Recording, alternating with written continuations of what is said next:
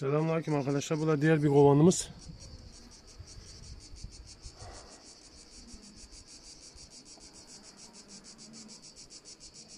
Bunun ortasında var. Alt taraflar kabarmamış tam.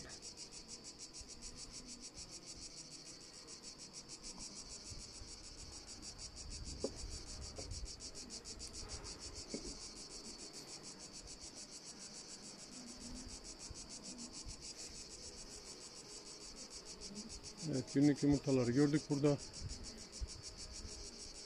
De bir ana kontrolü yapalım. Yani günlük yumurtalar gördükten sonra arkadaşlar ben aramıyorum. Her videoda da bunları defaatle de söylüyorum ben. Ana arıyı gördükten sonra eee, şey eee, günlük yumurtayı gördükten sonra ana arıya aramamın bir anlamı yok.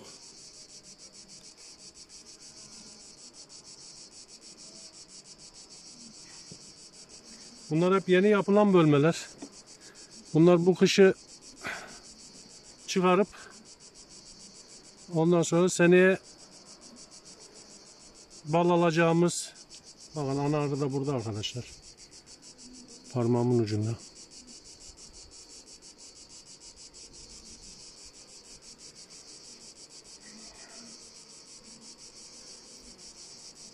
Bunda da larvalar, günlük yumurtalar var. Ana arıya bakıyorduk. Ana arıyı kaybettik yine. E, yok buradaymış. Şurada. Ortalarda geziyor. Çünkü ana arı kıymetli arkadaşlar bu zamanda. Ana arı bulmak da çok zor.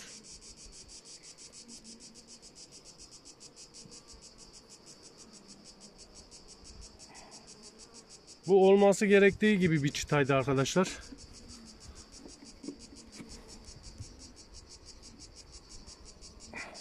Bakın bunun da stokları az.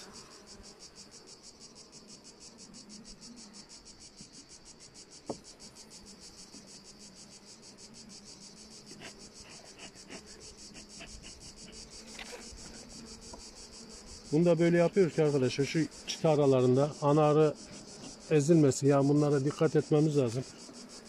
Bu zamanlarda ana arı ele geçmez. Şimdi bazı arkadaşlar diyor ya ana arım öldü ne yapacağım? Güzel kardeşim eğer senin bölgede ana arılık bir mevzu olmuyorsa, ana arı bulamıyorsan yapacağın tek şey birleştirmedir. Zayıf bir kovanınla birleştireceksin. Onu biraz daha güçlü hale getireceksin. Yapacağım bu. Buna şimdi şerbet vereceğiz.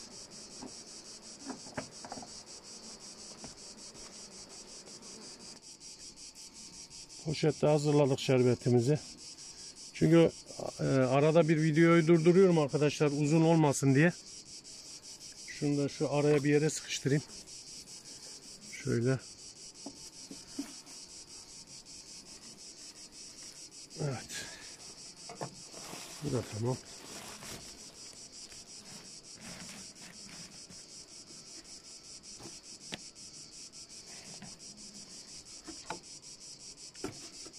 Şeritleri vardı. Zaten şeritleri yenilemiştik.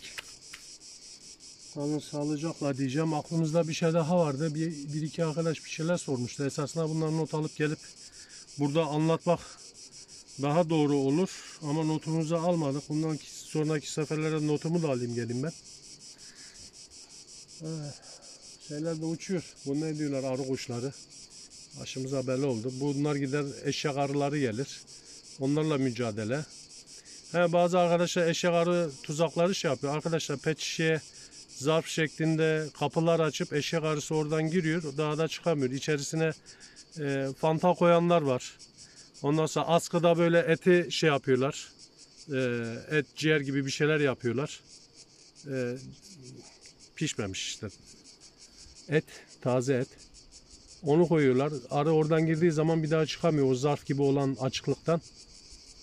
Yani bıçağı hem şöyle hem şöyle çarpı şeklinde kestiğinizde içinde parmağınızı koyarsanız o şeye peçten içeriye itek, iteklerseniz orada zarf şeklinde açılıyor zaten.